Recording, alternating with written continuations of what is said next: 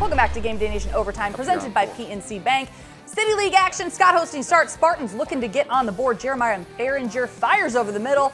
TJ Nice. Davidson with the catch for the touchdown. 7 0 start. In the second quarter, Behringer rolls to his right, connects with Davidson again. Guess who? Second connection of the evening.